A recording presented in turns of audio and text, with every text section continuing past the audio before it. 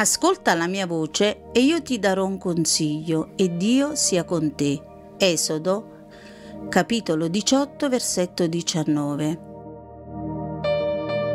All'organo.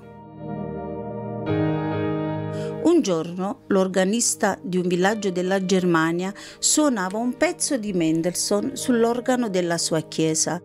In verità lo stava suonando molto male un visitatore scivolò senza rumore nella chiesa, si sedette su uno degli ultimi banchi nell'ombra e ascoltò.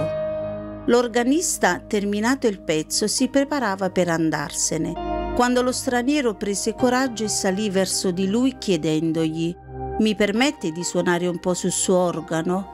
Certamente no, rispose l'uomo con tono burbero. Non permetto mai a nessuno di servirsene ma almeno lei sa suonare? Educatamente lo sconosciuto lo assicurò di essere familiare con lo strumento e insistette così tanto e bene che l'organista finì con l'acconsentire.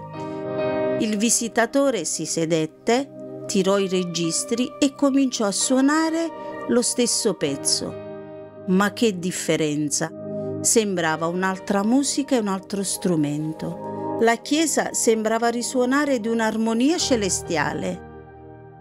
L'organista era visibilmente imbarazzato. Ma lei chi è? gli chiese.